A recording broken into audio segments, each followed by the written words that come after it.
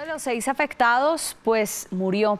La emergencia se registró en un centro de reclusión de la localidad de Tunjuelito de Bogotá. Resulta que las autoridades están investigando exactamente qué pasó y qué habría ocasionado esta situación que termina con varios afectados y una persona muerta.